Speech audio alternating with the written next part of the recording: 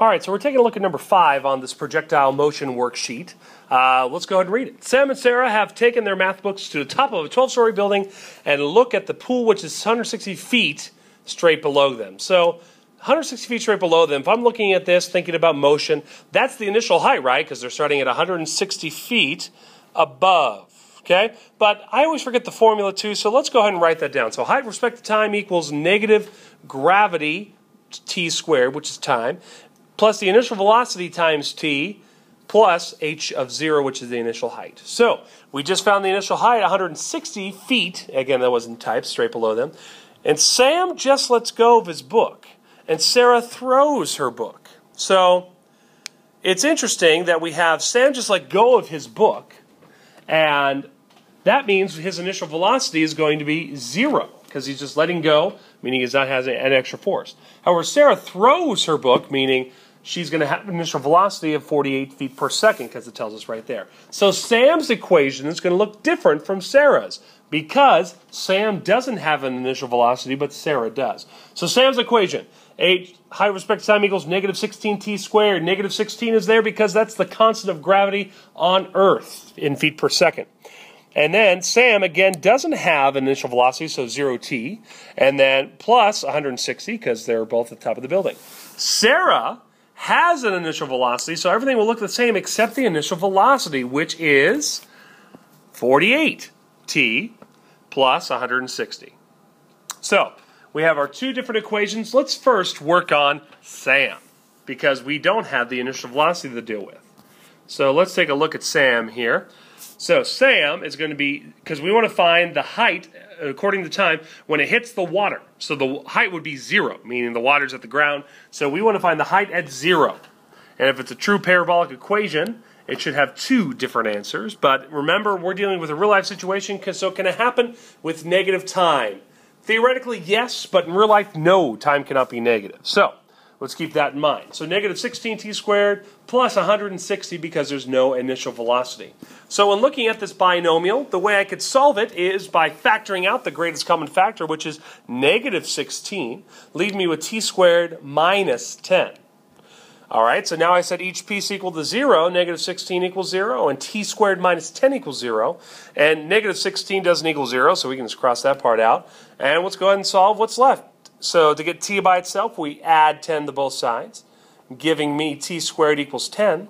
And then to get rid of a square, we do the opposite, which is a square root both sides. Now, when I square root the t squared, it becomes t. But when I square root of 10, I need to add the plus and minus because if I add the square root myself, t squared can be, be a positive or negative number. And it's going to be positive or negative square root 10. Now, the square root of 10 isn't a perfect square, so I could pull out a calculator and get a decimal, but we'll leave it exact and leave it just like that. And remember what I said about time, time can't be negative, so the only real choice I have is t equals positive square root 10. All right, so that's how long it takes for Sam's book to hit the water, or when the height is zero. t equals square root of 10, which, again, square root of 9 would be 3, so square root of 10 would be about 3.1 or 2, something like that. So we'll keep that in mind. All right, now let's deal with Sarah. So Sarah threw her book off the building at 48 feet per second. So we'll go ahead and keep that in there. And again, looking at this equation, we want to find the height at zero, again, when it hits the water. So that's why I set the equation equal to zero. And I have a trinomial this time, but I could still look for the greatest common factor, which, what do you know? I could factor out a negative 16 from all three of these. So I'm going to get t squared minus 3t minus 10. And so, and I think we can all agree, if I factor out a number from the front, if I factor out a variable, it would be different. But since I just factored out a negative 16, I can cross that part out. So, negative 10 goes on the top of my x factor chart, and negative 3 goes on the bottom. And what two numbers would satisfy my x factor chart? I believe negative 5 and positive 2 would do that, because negative 5 times 2 is negative 10, and negative 5 plus 2 is negative 3. Like I said, let's not worry about that 16 in front. All I'm concerned about is the trinomial, which I'm going to make a quadnomial by splitting negative 3t into negative 5t plus 2t. Let's go ahead and group the first two and the last two terms. The GCF of t squared minus 5t is just t, so I have t minus 5. And then I can only factor out a positive 2 from that, so I get a t minus 5. The parentheses match, Perfect, so we write that down once, and then the leftovers go in the other parenthesis, and that equals 0.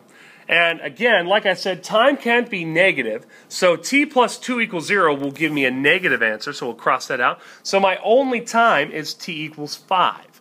So it takes Sarah's book 5 seconds to hit the water. Now that's curious. Let's go ahead and take a look at both of our answers here. So Sam, his time is the square root of 10, and Sarah's is 5.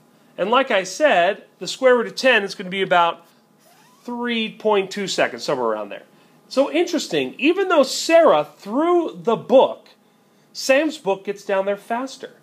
Interesting predicament. Hmm, we may have to investigate this more. Why do you think it takes Sam's book shorter than Sarah's book, even though Sam just dropped his book and Sarah threw her book?